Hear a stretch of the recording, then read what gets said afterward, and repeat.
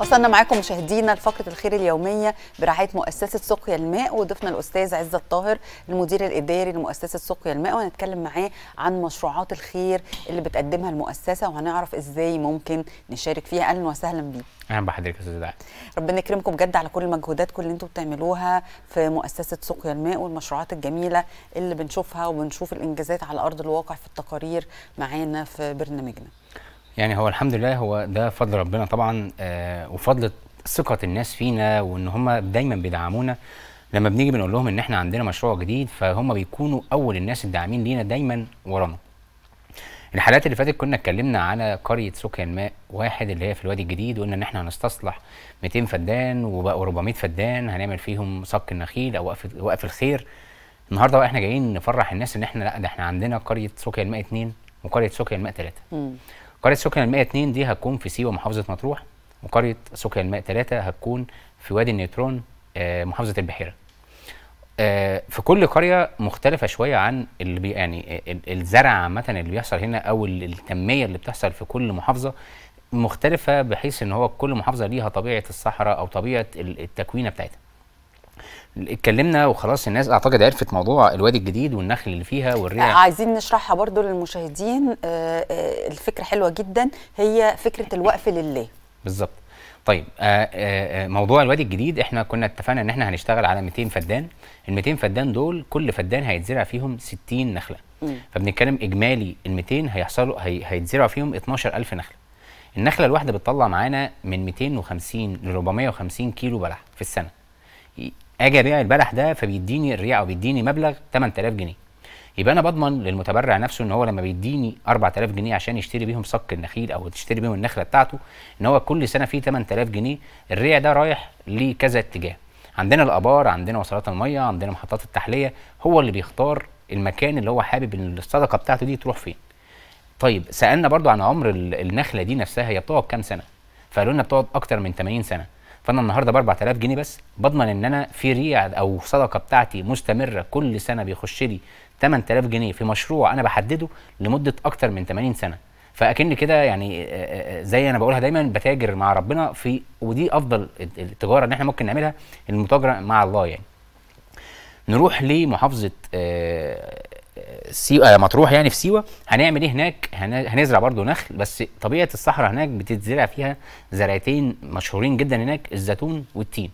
فهيتزرع برضو نفس الموضوع هناك هيبقى فيها زي زيتون وفيها التين. في سيوة في الوادي النيترون برضو هيكون النخل وهيكون فيها تين وفيها زيتون. آه ناس سألتنا الفترة اللي فاتت هو أنتوا ليه بتعملوا القرى وليه بقت بدل ما كانت قرية واحدة بقت ثلاث قرى ومستمرين في القرى دي؟ أول حاجة إحنا جمعية اسمها أو مؤسسة اسمها سقيا الماء للتنمية. فأنا دوري مش بس مجرد إن أنا أجمع تبرعات وأفضل أجمع تبرعات طول السنين دي لأ ده أنا بدور على مشروع بديل للتبرع. لأن النهارده ممكن في وقت من الأوقات بعد ما المشروع نفسه يشتغل ويكون الريع بتاعه داخل لكل المشاريع يبقى أنا في الوقت ده أنا مش محتاج إن أنا أمد إيدي وأجمع للناس تبرعات. لأ ده أنا بروح القرية بعمل فيها تنمية شاملة. أول حاجة أنا بوفر فرص عمل للمحافظة نفسها. بجيب الناس دي تنزل تزرع. دي حاجة. حاجة تانية بوفر لهم بعض الموارد اللي هي أصلا مش موجودة عندهم زي إن إحنا في ال 200 فدان التانيين غير ال 200 فدان بتوع النخيل هنعمل فيها مزرعة أسماك. فالسمك أصلا في الوادي الجديد مش موجود فأنا بمدهم بحاجة جديدة هي أصلا مش عندهم. دي حاجة. حاجة ثالثه أنا النهارده القرية دي المبالغ اللي بتطلع بيها ان أنا بقول الريع اللي هيروح لبعض المشاريع بتاعة سقيا الماء أنا هطور بيها جوه المحافظة. بمعنى أنا النهارده عندي في محافظة مطروح عدد كبير جدا من الناس ما عندهمش آبار. طب لما أعمل قرية في محافظة مطروح يبقى هي المسؤولة عن كل الناتج من النخل أو الناتج من ال 200 فدان أو الزراعة اللي بتطلع من القرية دي بيخش لي جوه الآبار دي. فأنا بقى, خلاص أنا بعمل تنمية مستدامة للناس جوه. ما بحتاجش ولا إن أنا أبدأ أزايد على الناس دي أو أنا أطلع أقول بقى الناس دي محتاجة. لا خلاص هم بقى عندهم مشروع شغالين عليه دايما وفي ناتج طالع بيعمل التنمية بتاعته.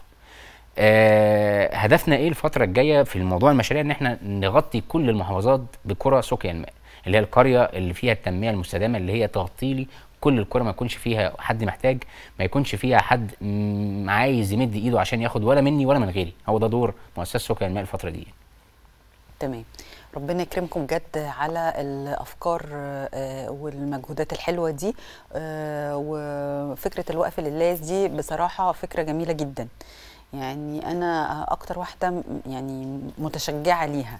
وطبعا أرقام التليفون موجودة على الشاشة عشان أي حد حابب إن هو يتواصل مع مؤسسة سقيا الماء ويبقى جزء من المشروعات الحلوة دي.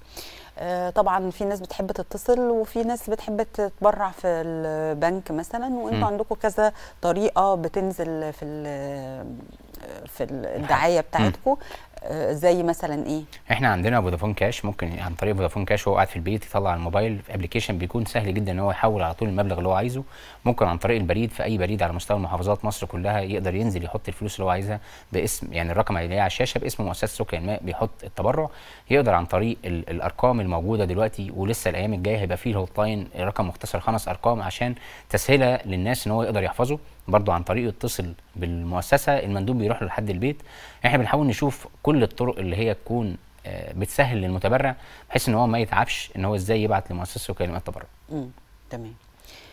طبعا ب- آه، غير طبعا المشروعات آه، دي في طبعا المشروعات الأساسية بقى بتاعة سقيا الماء اللي هي طبعا توفير المية. يعني سواء كانت آه، من خلال الآبار أو من خلال محطات تحلية المية أو وصلات المية آه، من النيل آه، آه، الوصلات المواسير للبيوت. تمام. آه إحنا طبعا التوجه بتاعنا دلوقتي الفترة دي محطات التحلية ليه محطات التحلية بنركز فيها أو عاملين عليها سبوت دلوقتي؟ لأن هي بتخدم عدد كبير جدا من الأهالي. يعني لو اتكلمنا على القرى بتاعت أو المحطات التحلية بتاعت محافظة مطروح الفترة الجاية إحنا عندنا خمس محطات شغالين بيهم بالتوالي. بنخلص محطة بنخش على الثانية ليه ركزنا هناك؟ لأن هم عندهم يعني نقص في المية العذبة. هم ما عندهمش مية عذبة. حتى لما بنيجي نحفر أبار مياه جوفية هي بتطلع المية مالحة. فاحنا قلنا طب إيه البديل إن إحنا نعمل المحطات دي أو نرفع كفاءة المحطات دي علشان نوفر للناس عدد كبير جدا من المية هو عندهم مشكلة كبيرة جدا إن هو النسب المية أصلا اللي الفرد أو الأسرة بتاخدها وكنا اتكلمنا عليها الحلقات اللي فاتت إن الفرد المفروض أو الأسرة المفروض بتاخد 10 طن مية بس هو بيوصل له 4 طن بس. فدي أصلا ما بيتكفهوش لمدة أسبوعين هو بياخد كل أسبوعين 4 طن هو المفروض كل أسبوعين ياخد 10 طن. فتخيلي حضرتك بقى إحنا عندنا النهارده لو الميه قطعت عندي ربع ساعه أنا بتجنن وببقى مش قادر. طب هو بقى بياخد 4 طن المفروض يمشي بيهم حاله أسبوعين كاملين علشان الاسبوعين اللي بعده ياخد 4 طن تاني؟ فهو الموضوع صعب جدا. فاحنا قررنا ان إحنا نعمل حاجتين مهمين جدا. أول حاجة إن أنا هعمق البير المعمول أصلا في المحطة بتاعة التحلية دي علشان نسبة الملوحة تقل معايا فتطلع الميه أكتر أو عذبة أكتر. دي نقطة. حاجة تانية إن أنا أكتر أو أضخ مية أكبر فيوصل نسبة المية مش أربعة ممكن توصل لستة تمانية حسب ما يطلع المية. فأنا بحاول أزود له النسبة اللي هو عايزها. طيب المحطات لو هنتكلم بقى على محطة اسمها شماس ودي أول محطة إحنا بدأنا فيها الفترة اللي فاتت. المحطة دي بتخدم كام فرد؟ بتخدم 6000 فرد. 6000 فرد بيخدموا بيشربوا من المية دي يوميا. فأنا النهاردة لما بحط الصدقة بتاعتي في محطة زي دي يعني أنا باخد ثواب 6000 شخص يوميا باخد ثواب المية اللي هو بيشربها. المحطات التانية هي يعني أعتقد متقاربة برضو نسب ال- ال- المستفيدين أو نسب الناس اللي بتستهلكها. ده برضو من 6 لحد لحد 10 ب- ب- ب- بشهادة ال- ال- ال- المحطات أو شركة الميه نفسها. لما قالت لنا النسب اللي بيستخدموا أو الضغط على المحطات دي عاملة إزاي. طيب هل المؤسسة وقفت على محطه التحلية في مطروح وقالت خلاص بقى أنا هوفر لهم ميه فنسبة الميه هتوصل لهم أعلى من اللي كانوا بياخدوه فهم كده كفاية عليهم؟ قلنا لأ إحنا طيب إيه التطوير اللي ممكن اعمله في البير اللي أنا أصلا اتشهرت بيه أو اتعرفت كمؤسسة سقيا الماء ان أنا بعمل ابار تخزين امطار. فقلنا ان إحنا مش بس هنعمل البير التقليدي ونعمل جنبه ال- ال- المبنى اللي بيبقى بالحنفيات افتح حنفيه المية تنزل. لا ده إحنا طورنا كمان ان إحنا بقينا ناخد وصلات من الابار لجوه البيوت. فيبقى أنا كده وفرت مية عذبة للناس عليت النسبة بتاعه ال- الفرد أو الاسرة من 4 طن لأكتر من 4 طن من 6 ل 10 خليت الآبار بتاعتي بتاعه ال- المستفيدين إن أنا بعملها لهم بدل ما كانت في في الشتاء فيها مية وفي الصيف ممكن ما يجيش فيها مية لا ده أنا خليتك صيف شتاء عندك مية. خليت المية توصل للأسر جوه البيت بدل ما كان بيطلع للبير وبي وبيتعب أو عنده آآ آآ في بعض الأهالي كانوا بيقولوا لنا إن هو في حرمة الست عندهم في العرب دي شديدة عندهم شوية. فأنا خليت له الحتة دي بعيد عن ال- الرؤية أو الست تطلع تروح لحد البير وترجع تاني. فإحنا بنحاول نعمل الحياة الأدمية للمواطن أو الأهالينا جوه مطروح بنحاول نوفرها في المؤسسة عندنا. طيب نشوف بقى دلوقتي آه، تقرير خاص جدا من تقارير مؤسسة سقيا الماء والمعهد القومي للأورام ونرجع نعلق عليه.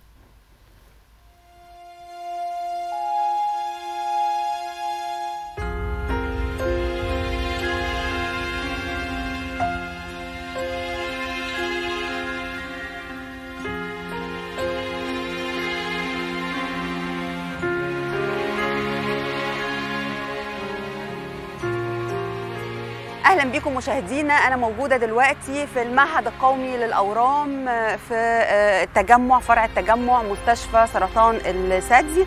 آه، إحنا طبعا موجودين لأنه إحنا في شهر أكتوبر الشهر الوردي للتوعية بمرض سرطان الثدي.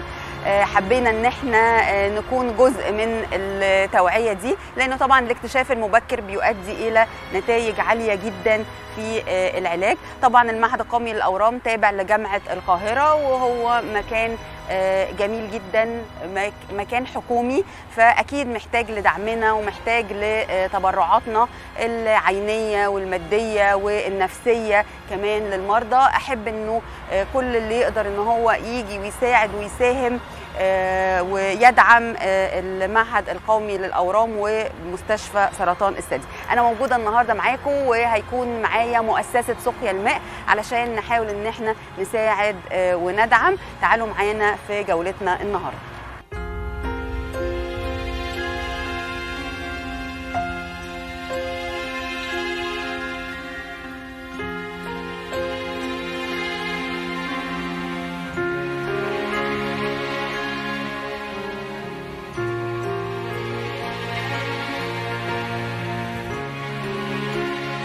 دكتور عماد شاش مدير المستشفى. أهلا وسهلا بحضرتك. أهلا بحضرتك وزيارة كريمة وشرف لينا استقبال حضرتك في آه، مستشفى سرطان الثدي معهد الأورام جامعة القاهرة يا فندم.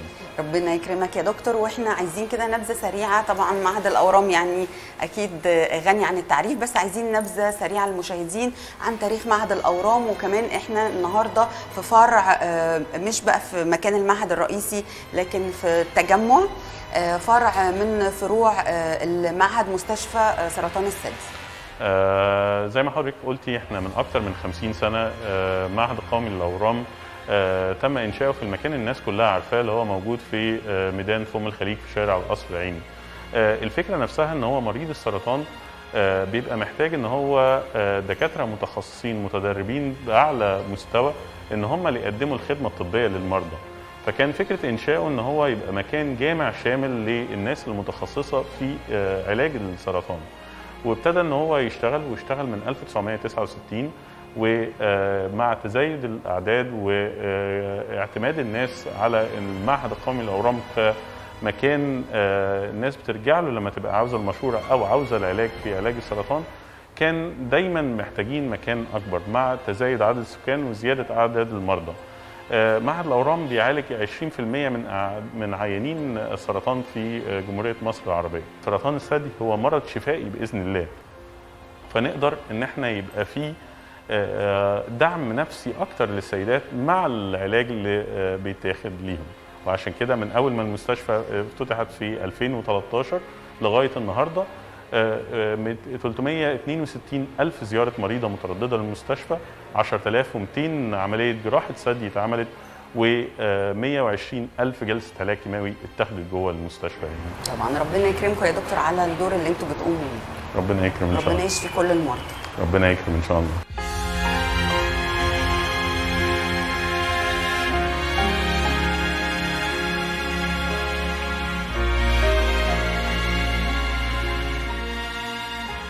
أستاذ عزت طاهر المدير الإداري لمؤسسة سقيا الماء. أهلا وسهلا. بيك أهلا بحضرتك.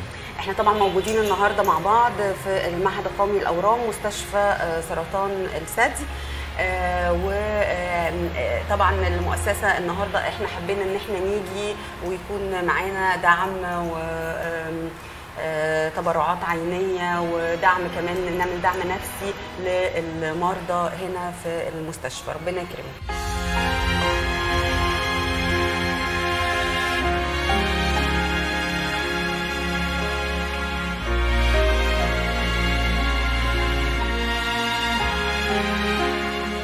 عايزة بقى آه، أستاذ عزت نوضح كويس للمشاهدين آه، فكرة البروتوكول بين المعهد القومي للأورام وبين مؤسسة سقيا الماء في موضوع النخيل اللي هو الوقف لله.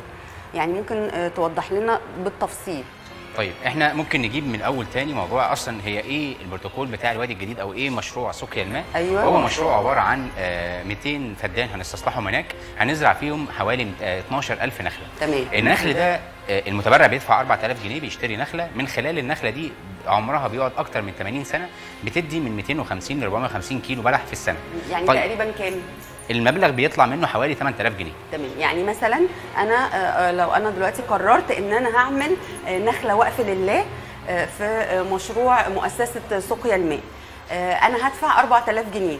بالظبط وبعدين آه، هعملها وقف لله للمعهد القومي للأورام بالظبط. كل سنة النخلة دي هتطلع بم- بما يعادل 8000 جنيه وعلى حسب بقى ممكن مع الزمن يغلوا طبعا بالظبط. بس مبدئيا يعني آه، 8000 جنيه كل سنة هيروح التبرع بتاعي ده طول العمر آه، للمعهد القومي للأورام وتبقى آه، وقف وصدقة جارية بالظبط كده. إحنا بنحاول برضو نوري المتبرع إيه المصادر أو إيه الاماكن اللي هو ممكن ال- ال- النخلة بتاعته أو الريع بتاعها يطلع لفين. قلنا له. ان الابار موجودة وشرحنا له فكرة الابار وقلنا له الوصلات المية والنهاردة إحنا في المبادرة الجديدة أو في المكان الجديد أو البروتوكول الجديد اللي إحنا بنعمله النهارده في معهد الاورام ان هو ده كمان مكان ممكن حضرتك تكون واهب الصدقه بتاعه النخلة دي اللي انت بت- بت- بتبنيها عندنا أو بت- بتزرعها قصدي عندنا اللي هي رايحة للمعهد. فانا بوري له كل المخارج اللي هو ممكن يطلع بيها عشان يعني يبقى كان عنده كذا اختيار مش اختيار واحد. ربنا يكرمكم وأنا إن شاء الله هكون أول داعم لفكرة النخلة الوقف لله وهعمل نخلة وقف لله صدقة جارية للريع بتاعها يبقى طول العمر للمعهد القومي للأورام وربنا يتقبل وإن شاء الله آه، يعني كل المشاهدين آه، يعملوا زيي وت- وتبقى كده آه، يعني أكون أنا بذره خير كده المبادرة كده ونبقى كلنا مع بعض إن شاء الله. ربنا يكرمك يا أستاذ وربنا يتقبل من حضرتك المبادرة دي. يا رب شكرا يا أستاذ